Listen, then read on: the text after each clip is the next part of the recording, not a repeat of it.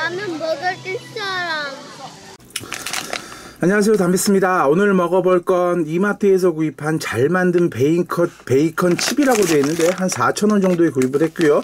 볶음밥 또는 채소볶음에 사용하면 좋다고 되어 있는 제품입니다. 자 뒤에 보시면 볶음밥, 파스타, 채소볶음, egg scramble 등에 뭐 드실 수 있다고 되어 있는데 300g이고요. 오텔 아 그 저기 훈제치킨 만드는데 거기 같은데. 자 전자레인지에 담아서 데워 드신 다음에 뭐 어, 드시면 된다고 되어 있습니다. 음, 저기 뭐야. 베이컨 칩 치고는 좀 가격이 저렴한 편이죠. 보통 이런 것 같은 경우 가격이 좀 보통 비싸기도 하는데 자 이렇게 좀 쓰러져 있는 편이고요. 그냥 먹기는 좀 그렇고 몇 개만 지어 먹어볼까요? 살짝만 데워서 먹 데워서 먹어야 하긴 하는데 자 끝에 한번 맛만 봅시다. 맛만 살짝 보고 그냥 뭐 일반 햄인지 자 이렇게 해서 베이컨 맛이긴 한데 좀 두꺼운 느낌? 이렇게 돼 있는데요. 한번 밥이랑 해서 한번 먹어보도록 하겠습니다.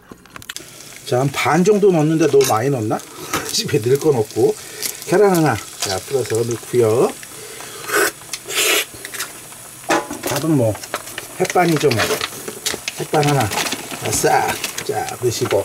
그 다음에 양념할 거는 뭐 별건 없어서, 그, 저기, 가라게, 저기, 일본식 소스.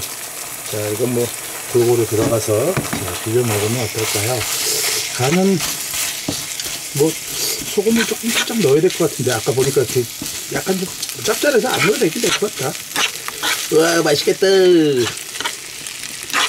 자, 참 맛있게 비벼서 어, 내가 무슨 거 저기 해물 썰어서 넣은 것 같은 느낌이기도 하는데 자, 씹는 식감이 좀 없, 없을 것 같은 아쉬움이 되기도 하지만 자 맛있게 해서 먹어보도록 하겠습니다. 빨리 대라. 자, 다 만들어 갖고 왔는데요. 자, 한번 먹어보도록 합시다. 뭐 간도 안 보고 그냥 만들었는데 어떨까요? 짤까요? 싱거울까요? 음. 간은 적당하네요. 그 베이컨에 맛도 들어있고 그 다음에 아까 그 가라게라 그러나 그 뭐야 가라게 아닌데 그 뭐지 그 뭐 참치 그뭐 하여튼 뭐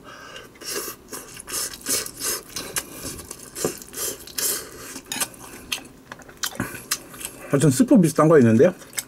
그거 넣으면 깨 같은 거 저기 들어가 있죠? 들어가 있어 씹히는 맛도 좀 나는 것 같고요. 거기다가 음 베이컨 맛이 그 일반 햄하고 다르게 좀 꼬들꼬들 씹히는 그런 맛 그런 것이 나가기 때문에 씹히는 맛도 괜찮긴 하네요.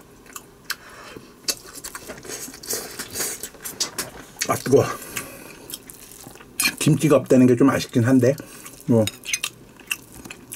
뭐좀좀 먹다 보니까 느글느글하게 하, 기도 하네요. 음. 자. 김을 싸먹는 것도 하나의 방법이겠죠. 김가루를 원래 좀 안에다가 뿌셔서 넣는 것도 좋긴 한데 이렇게 뭐김 싸서 짜자잔 김밥 음. 이거 괜찮네요. 하여튼 뭐 그냥 음, 뭐 이렇게 밥 비벼 먹을 때나 뭐 다양하게 요리 같은 데 넣으실 때 그냥 간편하게 넣으시기에 딱 좋은 제품인 것 같고요. 가격대도 베이컨 같은 경우는 가격이 비싸잖아요. 그런 것보다 가격도 저렴해가지고 음. 그래서 뭐 볶음밥이나 그런 요리 자주 해서 드신다면 한번 마트에서 가져다가 음, 구입하셔서 드셔보시는 것도 어떨까 싶은 생각이 드네요. 이렇게 자기자기 잘려져 있고요. 물속은 안 드셔도 되니까 참고해보셔서 맛있게 드셔보시고 오늘 하루도 즐거운 하루 되시기 바라겠습니다. 안녕하십니까. 구, 구독하고 추천해주세요. 약간